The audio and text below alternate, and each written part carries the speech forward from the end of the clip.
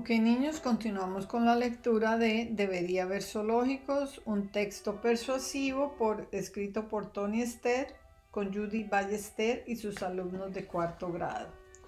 Hoy vamos a leer a favor de los zoológicos, protección y cuidado. Los zoológicos son absolutamente necesarios, Tornicha Camerón. Los animales deberían estar en zoológicos porque reciben mejores cuidados y están a salvo de sus enemigos. En la naturaleza a veces tienen problemas para encontrar comida. En los zoológicos los nutricionistas preparan un menú para los animales y se aseguran de que coman todos los días.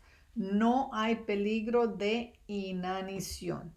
En los zoológicos los animales reciben el mejor cuidado veterinario. Si están enfermos o lastimados, se los trata con rapidez. Reciben vacunas que los protegen de enfermedades que pueden matarlos en su hábitat natural. Cuando los animales están en la naturaleza, están en peligro. No hay jaulas o cerramientos que los protejan de ser cazados por otros animales o incluso humanos.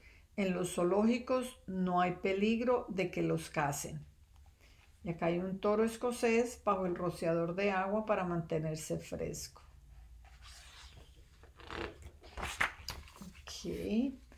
También tienen distintos tipos de refugios para proteger a los animales de las inclemencias del tiempo.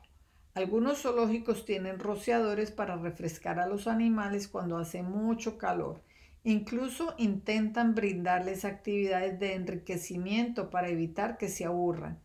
Un ejemplo es el nido de termitas para los chimpancés. En la naturaleza los chimpancés encuentran grandes nidos de termitas. Los atrapan con palitos y luego lamen las termitas del palo, como si comieran helado. En los zoológicos les dan nidos falsos de termitas rellenos de cosas sabrosas, como compota de manzana, ¿Por qué no deberían quedarse en zoológicos? ¿Qué es mejor para un animal? ¿Estar protegido o morir en su propio hábitat? Y acá está un chimpancé en un zoológico comiendo de un nido de termitas. Ok, niños, esta lectura fue a favor de los zoológicos.